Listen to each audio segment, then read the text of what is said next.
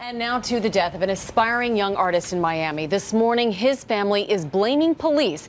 He died after officers tased him while chasing him down for vandalism. ABC's Aditi Roy has the story. This morning, the parents of 18 year old Israel Hernandez are asking for an independent investigation into their son's sudden death.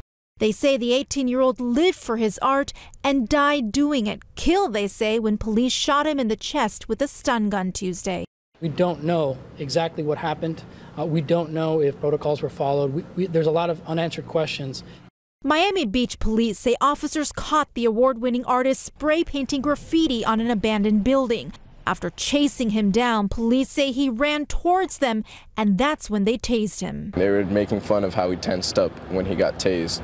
They were just laughing. Hernandez later died at the hospital. The medical examiner says more tests are pending and has not yet released a cause of death. The initial police report never mentions the tasing. Instead, the incident appeared in a statement a day later, with Miami Beach police offering their condolences to the family of Israel Hernandez. But for family and friends of Hernandez who held a vigil overnight, it is not enough. Trayvon Martin's all over the world. This kid needs to be all over the world. He was doing nothing but expressing himself. They say the promising young artist didn't have any health conditions that could be blamed for his death. My brother's dead, isn't he? Of course, they went too far. For Good Morning America, Aditi Roy, ABC News, New York.